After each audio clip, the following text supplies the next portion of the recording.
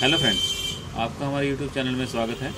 आज हम हम आपको बताने जा रहे हैं वाइल्ड वाइल्ड लाइफ कार्ड का जो पेपर हुआ था बीस अगस्त को, उसमें मॉर्निंग शिफ्ट में आए हुए हरियाणा के कुछ प्रश्नों के बारे में। तो पहला क्वेश्चन है, अठारह सौ दो ईस्वी में जॉर्ज थॉमस की मृत्यु किस स्थान पर हुई थी? तो इसका आंसर है बहरामपुर। नेक्स्ट क्वेश्चन है हमारा, अठारह सौ से अठारह दस ईस्वी में समस्त हरियाणा किसके अधिकार क्षेत्र में आ गया था? इसका आंसर है, अंग्रेज़ों के क्षेत्र में आ गया था। 2011 की जनगणना के अनुसार, हरियाणा की जनसंख्या कितनी थी? तो इसका आंसर ये है पच्चीस पैंतीस चौदह बासठ। ये इसकी जनसंख्या थी। महेंद्रगढ़ में कौन सा खनिज जैसक सबसे अधिक मिलता है। चूने का पत्थर जो है ना, सबसे ज़्यादा मिलता है। वह कौन सा खनिज जैसक है जो भारत में केवल भिवानी के कलियाना में मिलता है? इसका आंसर है प्रंकप्पी पत्थर, हिलना पत्थर। निम्नलिखित में से कौन सी फ़सल हरियाणा की प्रमुख फ़सल नहीं है? तो इसमें आपको बताना चाहूँगा, चाय जो है हरियाणा की प्रमुख फ़सल नहीं है। नेक्स्ट क्वेश्चन है हमारा, रेवाड़ी ज़िले में कौन सा उद्योग पूरे भारत में प्रसिद्ध है?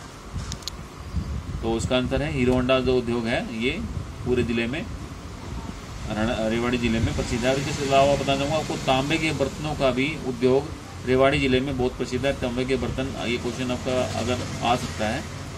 तांबे के बर्तन का भी उद्योग रेवाड़ी ज़िले में बहुत प्रसिद्ध है। अगला क्वेश्चन हमारा करनाल में निर्मित किस वस्तु का विदेशों में भी निर्यात किया जाता है? तो लिबर्टी शूज़ है जिसका विदेशों में निर्यात किया जाता है इसका आंसर है। शाहबाज सरकारी मिल की स्थापना कब की गई थी?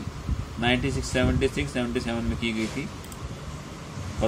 परमवीर चक्र, प्राप्त सैनिकों को कितनी राशि दी जाती है? ये दो करोड़ की राशि परमवीर चक्र को दी जाती है। कौन सी बाल विकास परियोजना हरियाणा से संबंधित है?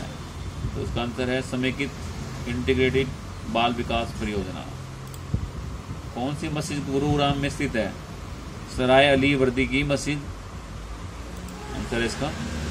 कैक्टस गार्डन कहाँ है? ये बड़ा इजी क्वेश्चन आया था। कैक्टस गार्डन कहाँ है? ये पंचकुला में है। आपको पता ही होगा इसका। 2011 की जनगणना के अनुसार हरियाणा में साक्षरता दर कितनी है? 75.555 परसेंट है। इससे रिलेटेड एक क्वेश्चन ये भी है, हरियाणा में कितने प्रतिशत महिलाएँ साक्षर हैं? तो 65.94 परसेंट महिलाएँ साक्षर हैं। हरियाणा में बड़े बस डिपो की संख्या कितनी है? तो आपको भाई मैंने पहले बताया था कि हमारे हरियाणा में बस डिपो की संख्या 24 है और सब डिपो 13 हैं। ये आपने ध्यान रखना है, ये क्वेश्चन कलेक्टर एग्ज़ाम में भी आ सकता है। हरियाणा में वर्तमान में कितने वीर्य केंद्र हैं?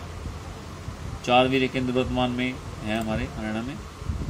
अगर आपको हमारी वीडियो अच्छी लगे तो उसको लाइक एंड शेयर ज़रूर कीजिएगा और हमारे चैनल को सब्सक्राइब भी ज़रूर कीजिएगा। अगर कमेंट्स में अगर आप बताना चाहते हैं हमें तो आप कमेंट्स में इसको टाइप कर सकते हैं। धन्यवाद।